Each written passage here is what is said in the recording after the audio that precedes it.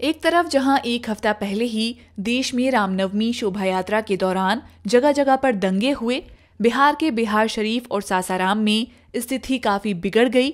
वहीं दूसरी तरफ़ प्रदेश के एकमात्र मुस्लिम बहुल जिला किशनगंज में मुस्लिम समुदाय के एक व्यक्ति ने हनुमान जन्मोत्सव के खास मौके पर हनुमान मंदिर निर्माण के लिए अपनी कीमती ज़मीन दान कर गंगा जमुनी तहजीब की मिसाल पेश की है। पीछे जो है हम्म जो दिखाई दे रहा है वहाँ तक है। जो पीछे जो है अच्छा कितना है टोटल लगभग डेढ़ कट्ठा के लगभग डेढ़ कट्ठा के लगभग। एक से डेढ़ कट्ठा के अंदर ही क्या। वैल्यू है इधर ज़मीन का?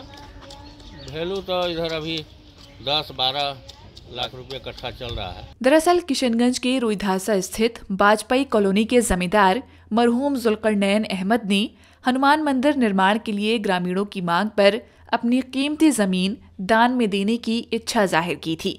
हालाँकि कोरोना काल में उनकी मृत्यु हो गई। उनकी मृत्यु के बाद ग्रामीणों ने उनके पुत्र से मंदिर निर्माण के लिए ज़मीन दान करने का प्रस्ताव रखा। तो उनके दोनों पुत्र फैज और फजल अहमद ने अपने पिता के वादे पर खरे उतरते हुए 6 अप्रैल को हनुमान जन्मोत्सव के खास मौके पर डेढ़ कट्ठा ज़मीन दान में दी। मंदिर निर्माण के लिए ज़मीन मिलने पर स्थानीय लोगों ने खुशी ज़ाहिर की और मंदिर निर्माण से पूर्व ध्वजारोहण कर पूजा अर्चना की। ये जुलकर नैन थे, मास्टर थे यहाँ के, और ये ज़मीन बिक्री उन्हीं के द्वारा हुआ है, जो ये नगर बसा है वाजपेयी कॉलोनी। तो उनकी भी इच्छा थी कि आप लोग अगर ज़ाहिर करें कि हाँ मंदिर बनाना है तो हम दान देने के लिए तैयार हैं। तो इतफाक़ से उनका तो देहांत हो चुका। उसके बाद हम लोग यहाँ के वाजपेयी कॉलोनी के जो निवासी है, हम लोग इच्छा किए कि चल के उनके बच्चों से कहा जाए तो तुरंत वो लोग राज़ी हो गए। बोले कि नहीं नहीं हमारे अब्बा का ही इच्छा था आप लोग बनाइए। और यही ज़मीन जो है हमारे पीछे उन्होंने दिया जो आज उसका शिलान्यास हुआ।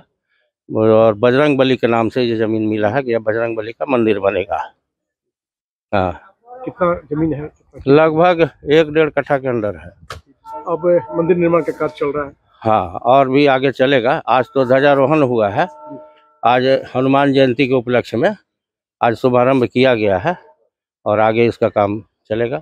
ये ज़मीन जो थी, इसको पावर अटर्नी के तहत जुलकर नैन ने सभी हिंदू जितने भी यहाँ घर बने हुए हैं, सबों को बेचा। और बेचने के बाद हम, हमसे पर्सनली हमसे मित्रता टाइप का भी उनको, नैन साहब का था तो उन्होंने एग्रीमेंट किया, मिश्रा वो आप अगर घर बनाएँगे यहाँ तो मैं आपको वादा करता हूँ कि मैं हनुमान मंदिर बनाने के लिए आपको जगह दूँगा। क्या आपको हनुमान जी से प्रेम है? तो हम बोले, चलो ठीक है। तो बहुत दिनों से पड़े हुए था। महावीर जी के शिक्षित इच्छा थी कोरोना काल में उनकी देहांत हो गई। देहांत हो जाने के बाद हमने अपना छोटा सा घर बनाया यहाँ। उसके बाद यहाँ जितने भी थे, मिश्रा जी, जब तक आप नहीं लगिएगा, तब तक यहाँ मंदिर नहीं बनेगा। एक मंदिर का यहाँ निर्माण होना चाहिए। इस सिलसिले में हमने कहा ठीक है हम नैन साहब के लड़का से लड़के से बात करते हैं। तो बात करने के बाद उन्होंने कहा कि नहीं पिताजी हमारा भी बोले थे जो अंकल के यदि आवे तो उनको मंदिर बनाने के लिए जगह तुम डोनेट कर देना। पिताजी तो नहीं रहे। मैं सहर्ष तैयार हूँ। मुझे कोई सिनेम करे देखो कोई भावना अगर हो, हो तो ऐसा नहीं क्योंकि मेरे हृदय में ऐसा भावना कभी नहीं है। और पिताजी के आप वचन पर वो खड़े उतरे। हाँ हाँ अपने पिताजी के वचन पर एकदम खरे उतरे। हाँ और हनुमान मंदिर की आज शिलान्यास रखा गया सबों के द्वारा। जितने भी यहाँ कॉलोनी के वासी हैं सभी आए। सबको खुशी है। निर्माण- हाँ अब हाँ मंदिर का निर्माण धीरे धीरे हो जाएगी। जमींदाता के पुत्र फैज अहमद ने बताया कि उनके पिता ने इंतकाल से पूर्व मंदिर निर्माण के लिए ज़मीन दान में देने का उनसे ज़िक्र किया था और उन्होंने अपने पिता के वादे को पूरा करते हुए मंदिर निर्माण के लिए ज़मीन भी दे दी। फैज अहमद ने गीता का उपदेश का पाठ दोहराते हुए कहा कि इंसान खाली हाथ आया है और खाली हाथ ही जाएगा, इसलिए इंसान को अच्छे कर्म करने चाहिए। बड़ा सा प्लॉट था, जिससे मेरे पिताजी ने डील किया था। तो ज़्यादातर उन लोगों ने हिंदू कम्युनिटी के लोगों को ही बसाया था। उस समय कुछ लोग आए थे पापा के पास। वो लोग आके बोले कि, सर, हमें कुछ ज़मीन आपको, मंदिर को डोनेट करना पड़ेगा। तो पापा बोले ठीक है, हम लोग इस बारे में ये करेंगे। फिर पिताजी तो रहे नहीं, लेकिन उन्होंने उससे पहले मुझे बताया था कि बेटा वो फलां प्लॉट है, उसको डोनेट कर देना अगर हो तो ऐसा। अगर वो लोग आए, मांगे तो। और अमरदीप भैया भी थे वहीं पे, अमरदीप भैया को भी ये चीज़ मालूम है।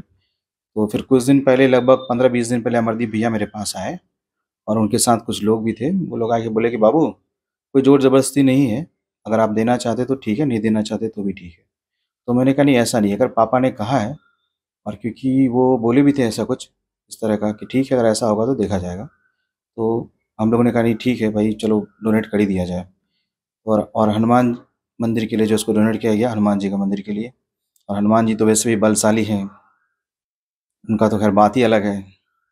तो और और वैसे लोग जो जाति मज़हब के नाम पर एक दूसरे को बांटते हैं उनको क्या संदेश देंगे? सर देखिए, एक दो परसेंट ऐसे लोग हैं। नाइन्टी परसेंट लोग तो आज भी चड्डी बट्टी की तरह रहते हैं। दोस्त तो एक ही थाली में खाते हैं हँसी मज़ाक सब वही चलता रहता है। एक दो परसेंट ही है, ऐसे लोग हैं। बस और क्या, मिलके रहिए भाई, खुश रहिए। गीता सार है, जो कल तुम्हारा, सॉरी, जो आज तुम्हारा है, वो कल किसी और का था, परसों किसी और का हो जाएगा। तुम नंगे आए थे और वैसे ही तुमको मरना है, वैसे ही जाना है। तुम्हारे पास कुछ नहीं रहने वाला है तो फिर इतना रोना धोना का है? पुण्य करो भाई, अच्छे कर्म करो, और क्या?